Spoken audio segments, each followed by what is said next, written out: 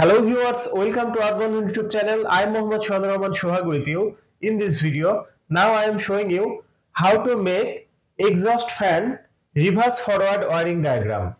If you are new to my channel, please be subscribed and stay with me. Press the bell icon for more my video. If you already subscribed, thank you so much. So viewers, let's start. Exhaust fan 2.5 microfarad capacitor 2 way switch. Phase connection to 2 way switch common terminal. Phase connection from switch L1 terminal to connect with capacitor. Phase connection from capacitor to exhaust fan.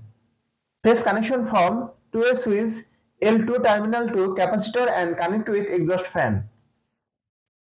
This is reverse connection neutral connection to exhaust fan neutral point. So viewers that's my video. If you like my video please like and share my video to your friend. Thanks for watching my video and thanks for being with me. Thank you so much